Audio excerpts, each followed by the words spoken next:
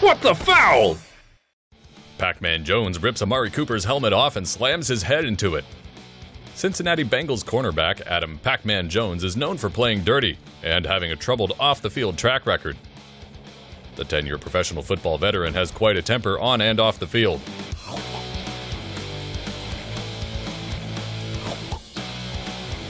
During Sunday's game in Oakland between the Bengals and Raiders, Pac Man tackled rookie Amari Cooper to the ground, tore off his helmet, and smashed his head into it while three referees threw flags on the play.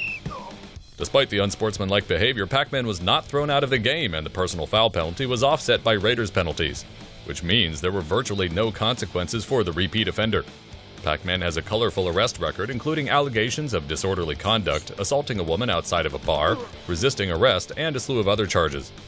He was suspended from the NFL for a full season and then some, during which time he moonlighted as a professional wrestler. The Bengals ended up winning the game 33 to 13. Like this video? Don't forget to subscribe and follow us on Facebook, Google, and Twitter.